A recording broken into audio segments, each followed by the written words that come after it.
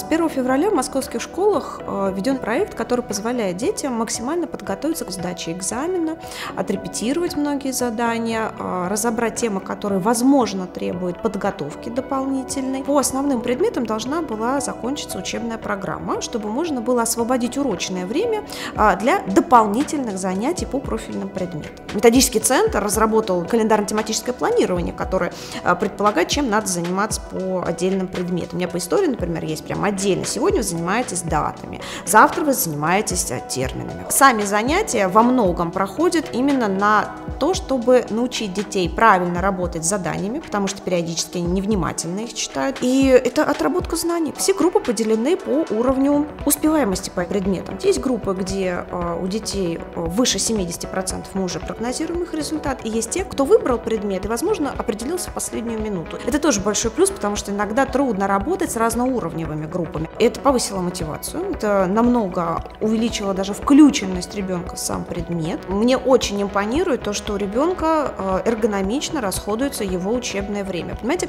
до этого момента ребенок очень долго находился в школе, он должен был учить предметы общего цикла, и получается, что он у нас с вами в школе находится, ну, как минимум, наверное, до половины пятого точно, и после этого у него начинаются дополнительные кружки секции, подготовка к ЕГЭ. Ребенок работает с утра до вечера, будние дни, потом еще некоторые курсы, даже вузовские, они организованы по выходным, и получается, что у ребенка нет периода рекреации. Вот эти как бы дополнительные часы, они из вариативной части переносятся в основную часть учебного плана. К концу учебного дня у него есть время для рекреации. То есть это лучший баланс времени труда и отдыха.